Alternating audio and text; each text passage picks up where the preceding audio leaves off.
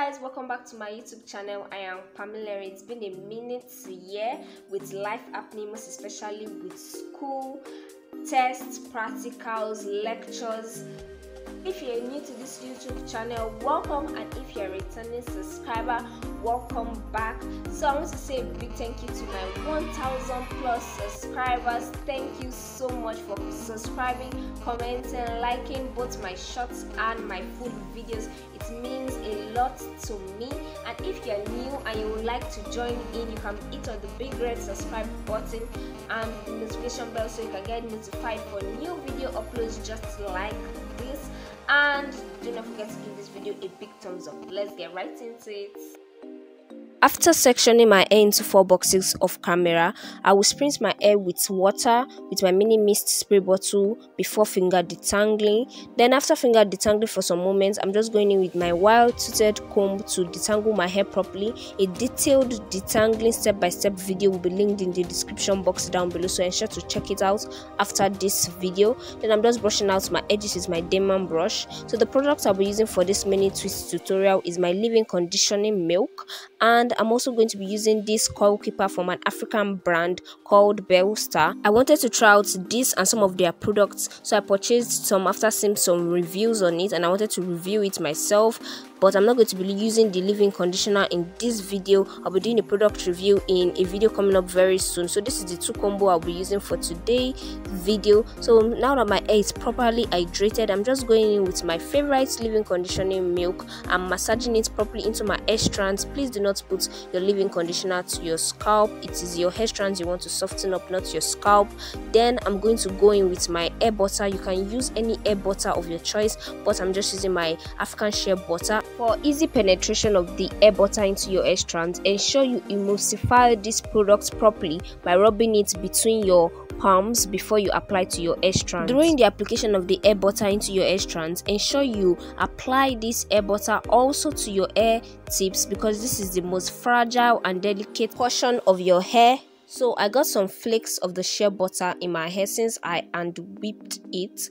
But if you use the machine to whip yours, it's probably going to not have any form of flakes.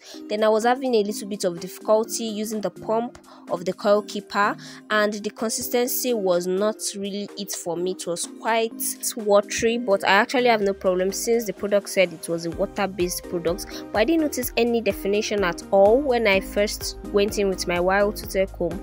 But when I went in extra with the coil keeper and I used a hard brush that I recently got. I noticed a little bit of definition. So then I'll be going in by sectioning my hair. For the sectioning I will not be sectioning with any comb of any sort. My scalp was quite sore at the moment since I had not weaved or done anything on my hair for the past three weeks. So I just used my hand to finger pat my hair for each section of the hair, I'm going to go in by using two pumps of the coil keeper.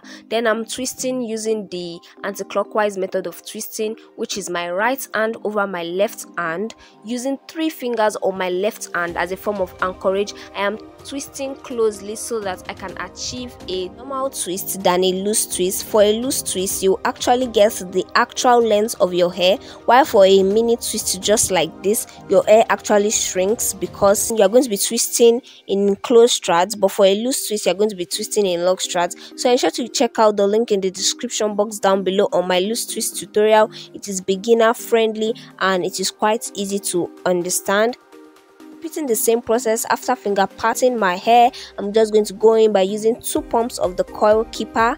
Then i'm going to twist using the anti-clockwise method which is my right hand over my left hand using three fingers on my left hand as a form of anchorage to create a loop of twists. Do not forget to twirl the ends of your hair to get that bounce and coil while editing this video we're able to unlock the community tab feature which is another cool feature on here on youtube as it allows for easier communication in forms of polls picture content. So you can vote for the types of videos you would like to see during the week and you can also vote for the time you would like to see them. Two community posts are up already so you can go ask your questions and you can also engage in the polls ongoing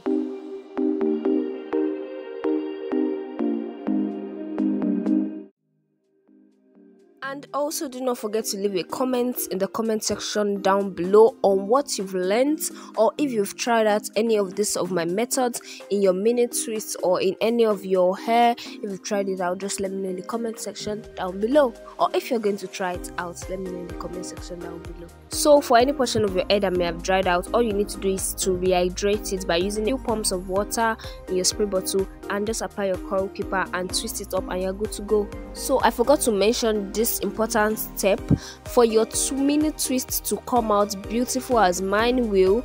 Ensure the twist per roll increases. What i mean by this is that for the first roll i only had one twist. For the second roll i had two twists. So as you're moving up the rolls ensure that the twist increases so you can get the same size of twist across all rows because you cannot have one big twist one small twist. That makes absolutely no sense. And the beauty of this style comes out when you have a lot of twists. You can either go smaller than this twist but i do not advise you go bigger than this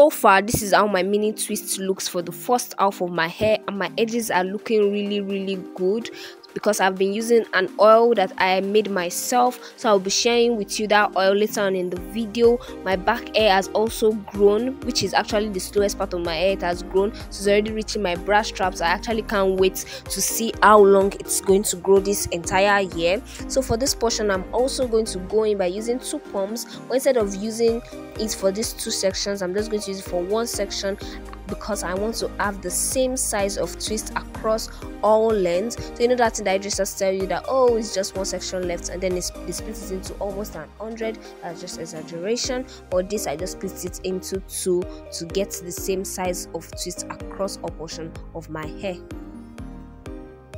so this is how my entire hair looks. This took me about two and a half hours. As i was doing some things off camera but yours may take either more or less hours this is the oil i've been using for my edge growth and my scalp and it has really really helped in growth and it has reduced the soreness of my scalp so my scalp actually feels much better. So this oil the first time i created it it was it had a really nasty smell this neem oil but the next time i created this batch that i'm using currently on my hair it actually didn't stink as much as the previous oil so i could stand it. So if you like to see a video when i'm creating the next batch let me know in the comment section down below. It's actually actually very easy to make and it is an ayurvedic herb so it actually helps to grow your hair after a period of time.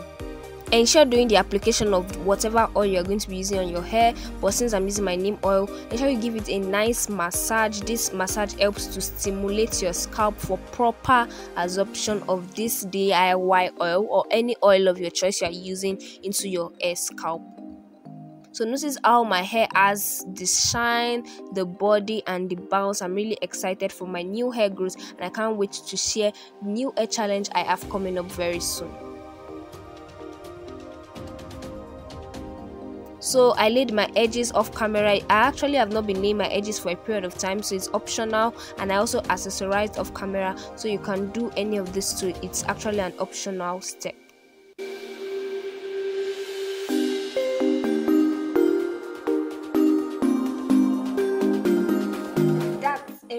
on this mini twist tutorial. Thank you once again for tuning in and thank you so so so so much to my 1000 plus subscribers for the likes. If you've not given this video a big thumbs up ensure you do so now. Let's get this video to a hundred likes. Thank you so much for the subscribers. If you are yet to subscribe make sure you do so by hitting on the big red subscribe button and the notification bell subscribing is completely free. Let's get this youtube channel to 2000 subscribers by the end of next month. You can also comment down below any type of tutorial sit down challenges you would like to see on this youtube channel. I can't wait to see my next video.